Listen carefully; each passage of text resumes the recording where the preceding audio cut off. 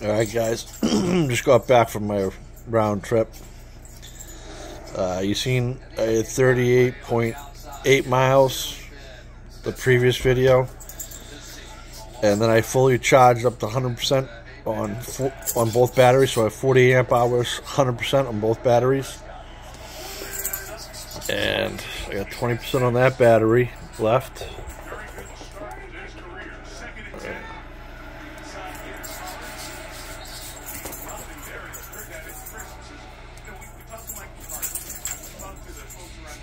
So they're both at 20% then. Huh, that's weird. But, so, I used 80% on both batteries. And I had 73 point whatever. So, basically 34 miles on 80% on both batteries I used. Alright, later because of the cold, guys. Freezing today.